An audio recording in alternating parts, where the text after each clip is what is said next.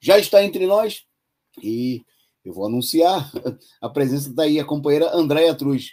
É, saudar a Andréia e já vou passar para ela um, um pepino para ela descascar. É, o Bolsonaro resolveu entregar aí a, no leilão da 5G e olha que novidade, quem ganhou? As mesmas empresas né, que já controlam o bilionário, lucrativo negócio da telefonia no Brasil, né, que só faz a gente sofrer. Né? A gente já sofre com 2G, com e agora nós vamos sofrer também com a nova modalidade na mão das mesmas empresas né, que já controlam e que arremataram aí é, o negócio por uma bagatela. Boa noite, Andréia, e com você para comentar a notícia. Boa noite, Toninho. Boa noite a todas as pessoas que estão aqui nos acompanhando. Eu só queria falar o seguinte: acho que o Jim Carrey vai vir dar o prêmio né, do mérito científico, porque assim, só pode, né? Na torre de pizza. Aí ficaria melhor, entendeu? Então vão para lá e lá ele vai receber né, o mérito, né? Gente, mérito científico. Pois é. Mas eu acho que isso daí é mais uma forma né, da, da, daquele, das distrações de Bolsonaro. Enquanto isso, ele está aí, né, mais uma vez, entregando né, o 5G Claro, Vivitim arremataram né, essa faixa, né, considerada a principal do leilão, é a faixa de 3,5 né, é, gigahertz. Né? Faixa permite, então, uma oferta de internet móvel em todo o território nacional, não é? e a que é mais usada no mundo. Para quem? Para nós que pagamos, né, Toninho? Um dos piores serviços, um dos serviços mais caros e que, infelizmente, nos deixa na, na mão, assim, na hora que você virou ali a estrada, né? Você sai da estrada principal, foi para ver sinal, acabou, você já não tem mais sinal. Mas a 5G está aí para acabar com esses problemas, né? Então, o Bolsonaro, na verdade, né, eles arremataram nessa quinta-feira os três lotes nessa faixa, né, considerada principal do 5G. Segundo, né, a, a, a, foi na segunda faixa listada, né, que começou nessa quinta-feira, vai terminar amanhã na sexta-feira. Bom, eu acho que os detalhes, Toninho, é a gente entender mais uma vez, né, que a grande novidade é que não é, né, que é, mantém-se, né, toda a composição, né, da Anael quando ocorreu o processo de privatização. E a partir dali, essa faixa inclui lotes nacionais e regionais, orçado em 30 bilhões, sendo que quase 29 são destinados ao cumprimento de as obrigações previstas no edital.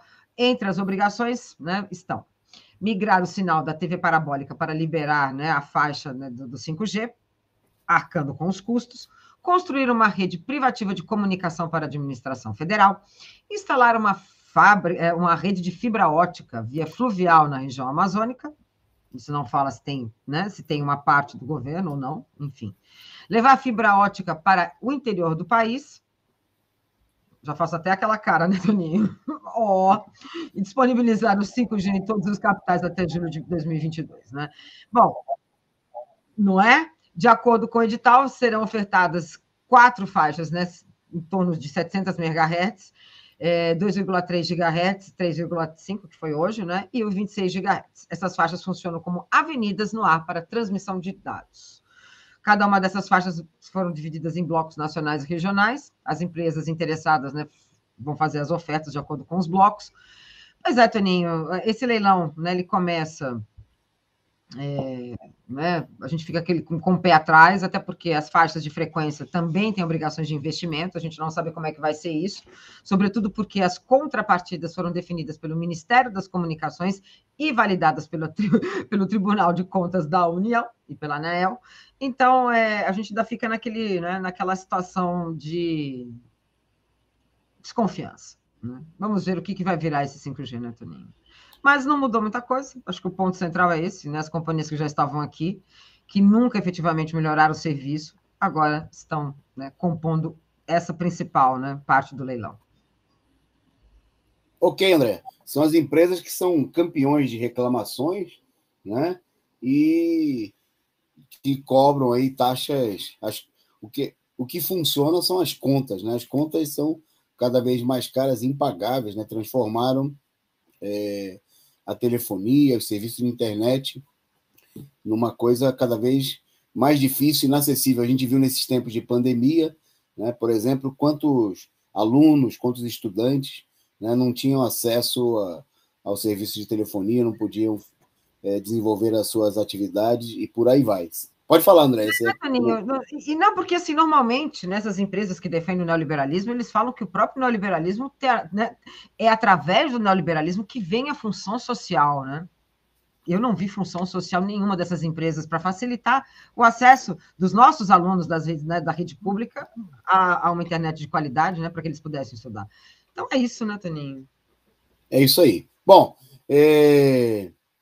destacar, nós vamos, nós vamos preparar, nós vamos ir mais fundo, nós vamos trazer no, no começo da semana que vem, vamos trazer um companheiro é, da área para tratar, inclusive, porque essa área é uma área muito nobre, né?